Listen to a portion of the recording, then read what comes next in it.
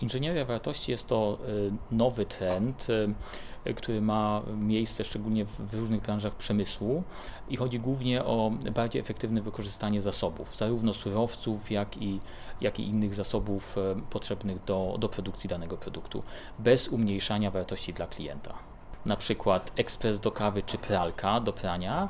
E, kiedyś te urządzenia były w dużej mierze skonstruowane z części metalowych, natomiast w międzyczasie e, wiele komponentów metalowych zostały zamienione na części plastikowe. Podobną sytuację mamy w przypadku samochodów.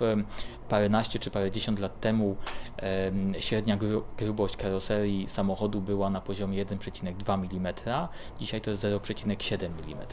To wynika z postępu technologicznego z lepszych specyfikacji blach, ale ma to oczywiście również wpływ na to, że lepiej wykorzystujemy te surowce, które mamy. Zamiana e, metalu na plastik albo na przykład złota na srebro, co często ma zastosowanie w elektronice, to są e, oszczędności rzędu kilkudziesięciu do 50 albo nawet 60%. Średnio te oszczędności w zależności od produktów i firmy i profilu produkcyjnego wahają się e, między kilkanaście a kilkadziesiąt procent.